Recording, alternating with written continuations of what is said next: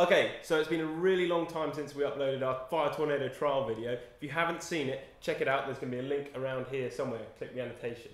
And a few weeks back, we went for part two, the upscale version, and we had to take it to a quarry. It was just that dangerous. And it was pretty awesome, so here it is. So fire tornadoes, fire whirls, flame nados, whatever you want to call them, they almost always start the same way in the wild with a bushfire. Well, I'll get this one started then for you, mate. Cheers, man. Most bushfires occur in hot, dry grassland areas, a little bit like this replica here, and the most frequent natural cause is lightning. But most are caused by man.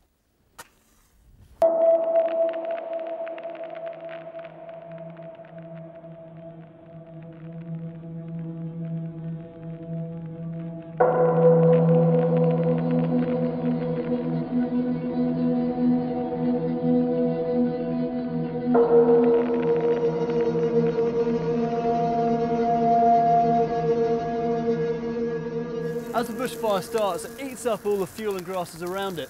And in places where bushfires are common, plants and animals have actually done what you might not expect. This eucalyptus, for example, has incredibly flammable leaves. By passing the fire very quickly over it, it means that the heat doesn't spread quite so deeply into the plant itself. But that does mean the fire spreads even faster. And on the animal front, there are little beetles called jewel beetles in Canada that can actually smell bushfires from about 50 miles away, and they'll fly towards them. And that might seem unusual, but when the fires are dying down like this, the jewel beetles are able to actually mate in their embers. All the competition for resources have been wiped out or chased away, so that gives any offspring a complete head start. But for those of us not designed for fire, bushfires can be a truly terrifying prospect. Add a bit of wind into the mix, and bushfires can travel up to 20 kilometres per hour. That's about as fast as most of us can run.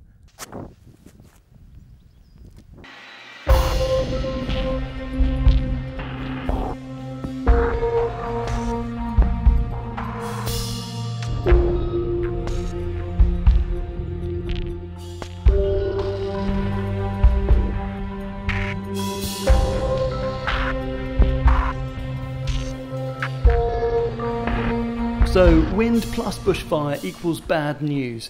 But if, for example, our bushfire was on the side of a mountain, any wind moving past that mountain might curl around it and then get lifted up by the heat of the fire and create a vortex.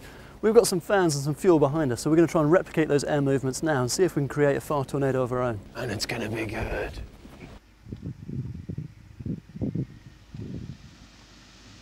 That's definitely getting there.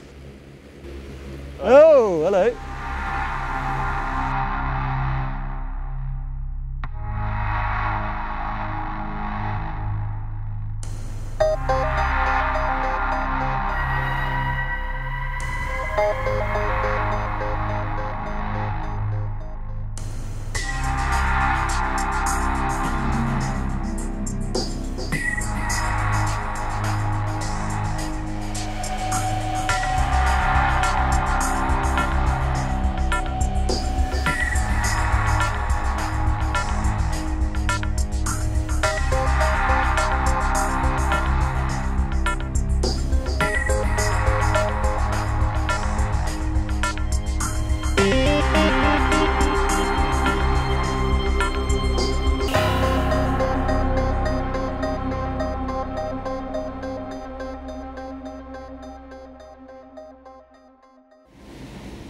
That looks amazing, Si. Pretty cool. It's pretty cool. I'm, I'm pretty glad it's trapped in this sort of cage of air. Yeah. Because in the wild, they really are harbingers of doom. I mean, some things do well in bushfires, nothing does well in fire tornadoes. I mean, there was one back in Hamburg in World War II, actually, that was three kilometres wide and five kilometres tall. Well, I think uh, I think we're quite lucky we can just turn it off. It's contained within this cage of air right here. Absolutely. Well, if you liked what you saw today, don't forget to subscribe to Earth Unplugged. And don't forget these are truly deadly, so don't try this at home.